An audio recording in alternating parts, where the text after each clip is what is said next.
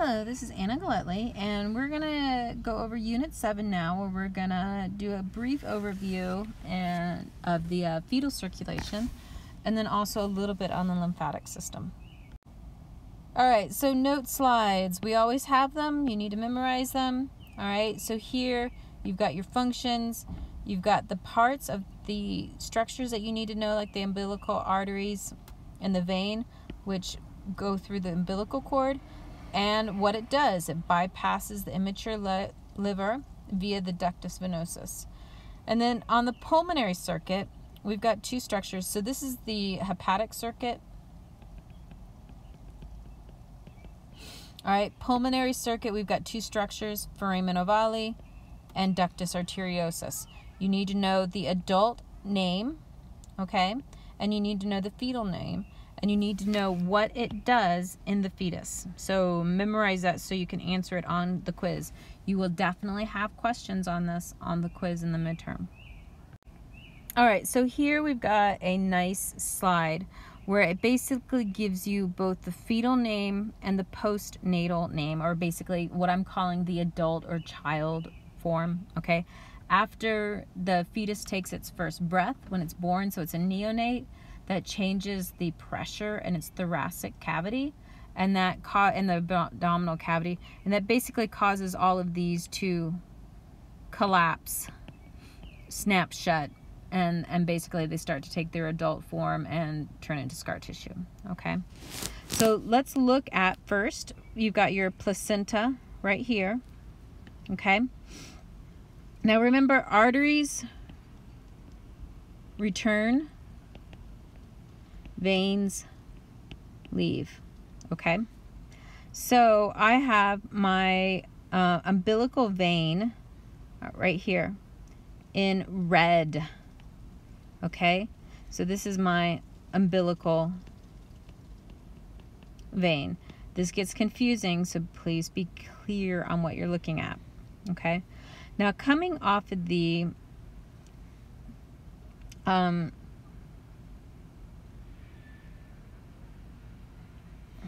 um, iliac arteries, we have the two umbilical veins. So you can see them coming this way, okay? Um, and they're basically going to form little branches right here, which then are going to be your blue umbilical arteries, which are going towards the placenta. So they're leaving the baby's heart and going towards the placenta, where you're going to do exchange in the placenta between the maternal blood and the fetal blood, okay? Now, the umbilical vein, which is in red, but we're going to color it blue, that is bringing oxygenated, nutrient rich blood up here.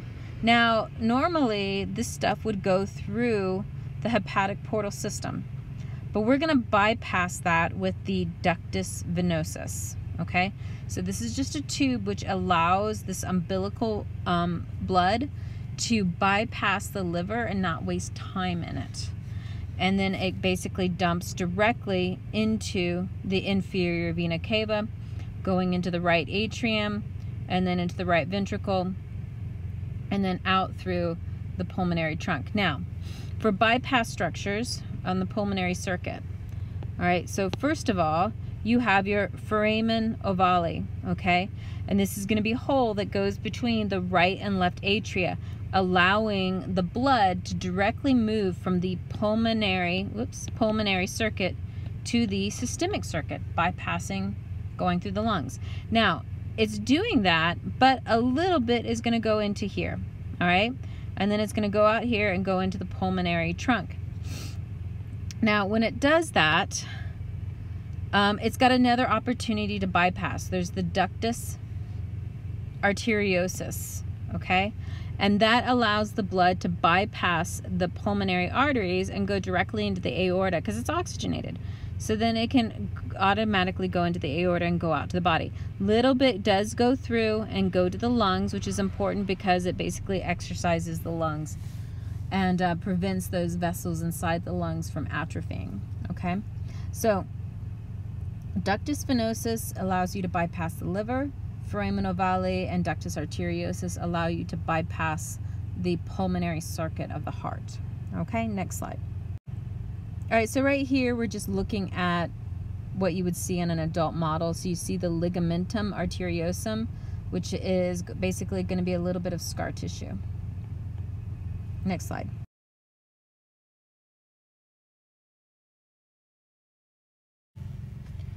All right, let's look at the lymphatic system. So you've got your purposes right here, your functions, transport lymph, remove foreign pathogens, okay? Now, we're going to divide this stuff up into lymphatic vessels versus lymphatic tissue and organs. So these are all your lymphatic vessels. Um, what I want you to know are lymphatic capillaries, lymphatic vessels. You've got trunks. I'm not too worried about you remembering those. You've got your cisterna chyli, which goes into the thoracic duct, which goes into the subclavian, the left subclavian vein. And then you've got your right lymphatic duct, which goes into the right subclavian vein. You should be able to identify those all on models, okay? Now, primary lymphoid organs are, or structures are places where you actually can uh, produce cells, okay? Produce and train cells. So the red bone marrow is one and the thymus is another. Secondary is going to be where you aren't necessarily making cells. Instead, what you do is you take cells that have already become immunocompetent or are non-specific. So um, they're part of the innate immune function. And those cells are going to hang out in those locations and do their jobs. So the tonsils, the lymph nodes, the spleen, uh, MALT tissue, okay? Those areas are considered secondary lymphoid organs. All right, next slide. All right, we've got our basic note slide, all right, telling you what's going on. This is showing you drainage for the lymphatic vessels that I actually care that you know about, okay? All right, so all of the little lymphatic trunks get their own little names, and I don't care about that, okay? What I want you to know is you've got lymphatic vessels that are draining the intestines. They're full of a fatty lymph called chyle. Okay? They all drain and they drain into like a major collecting point. So it creates a swelling that we call the cisterna chyli. So a cistern for chyle. Okay? The cisterna chyli initially swells and then it narrows back down, and where it narrows, we call it the thoracic duct. This runs alongside the aorta and inferior vena cava all the way up, where it's eventually going to drain into the left, oops, the left subclavian vein. So this is draining ultimately all the lymph of your legs, your pelvic cavity, your abdominal cavity, part of your thoracic cavity, and the left side of your body is also going to eventually drain into that structure and then back into the lymph, um, the the venous blood supply. So all lymph ultimately comes from blood plasma that went into the spaces between cells and became interstitial fluid. So basically, the pathway is blood plasma, interstitial fluid, lymph, and it just creates this lovely little circle. All right, where it's circulating. The right lymphatic duct, all right, I want you to know that one. That one is draining into the right subclavian vein and it's draining the right side of the body and the head. Okay? All right, next slide. All right, looking at lymphatic capillaries, what I want you to know is that these are embedded with blood capillaries, okay? So remember, the blood is in the capillaries and there's plasma. That plasma is going to be leaving the capillaries and going out and becoming interstitial fluid.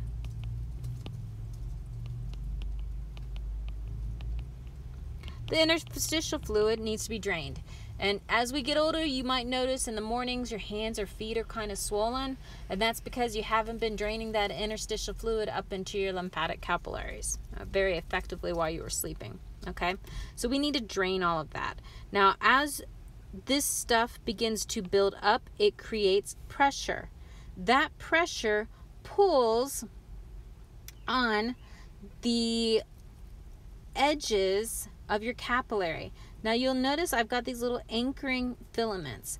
As you pull, that holds these little sides there and that pulls these flaps open and because the pressure is lower inside the capillary it sucks the interstitial fluid into the lymphatic vessel where it becomes lymph I just totally misspelled that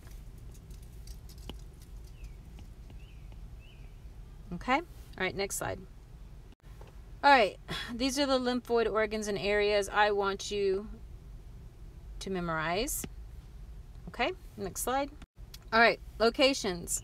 The thymus, if you go and start tapping your sternum right now, so I'm tapping mine, you can hear my voice shaking as I tap it, okay? If I took my sternum off, all right, so here's the sternum. Actually, it goes down more like that, okay? If you take that off, you will find the thymus right underneath, okay, the top part, okay? Um, so um, that's where it is, um, but it begins to atrophy at puberty, so often by the time you're in your 40s or 50s, there's almost nothing left, and by the time you're 70 or 80, it's going to be gone. All right, next slide. All right, this slide is just showing you where you've got the different tonsils up in there.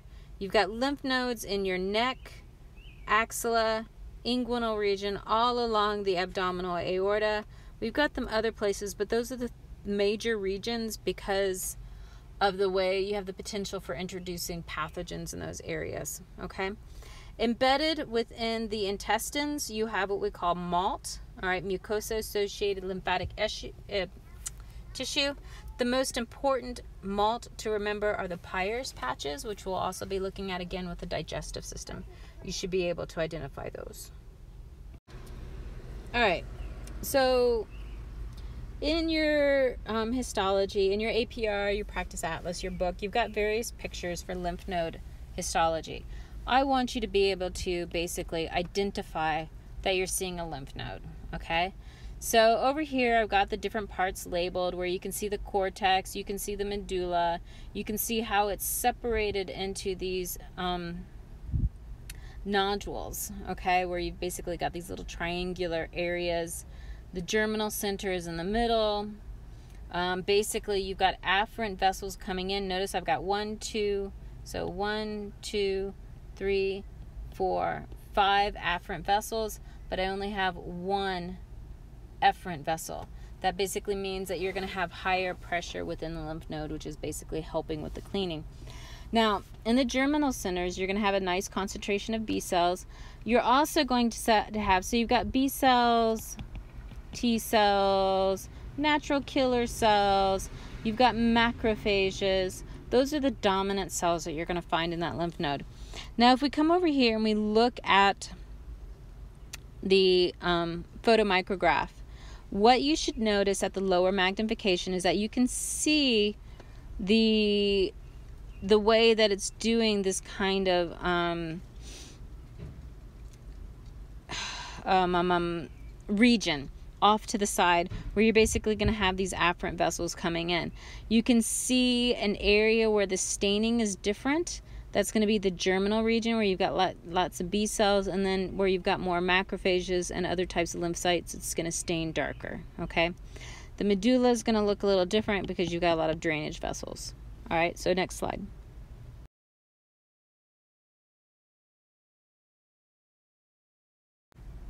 All right, so with the tonsils, again, I want you to be able to identify that you're looking at a tonsil. So you got a lymph node, distinguish it from a tonsil, okay? And what you'll see is the tonsil is a little is quite a bit bigger than the lymph node structurally it's pretty similar with these little things off to the edges with the germinal center in the middle and then uh, other uh, darker staining structures around the edges. All right, so that was the last of the slides for the lymphatic system. So we're going to stop there and um, you can go on to working on your unit.